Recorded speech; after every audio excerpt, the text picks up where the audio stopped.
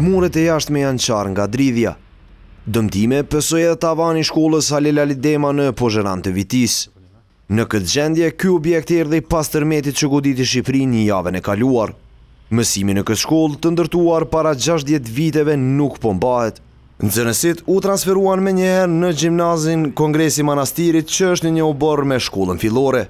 Arsye pse e kemi ndërprerë mësimin në këtë shkollë është se pas datës 26 nëntor 2019, pas tërmetit që ndodhi në Shqipëri, që është ndjerë edhe këtu në Kosovë, atëherë na, na si shkollë me mësimdhënësa kemi vrej që shkolla ka disa plasaritje të mëdha dhe kemi njoftuar drejtorinë komunale të arsimit në Viti. Pira po insiston se ky transferim nuk do ta dëmtojë procesin mësimor.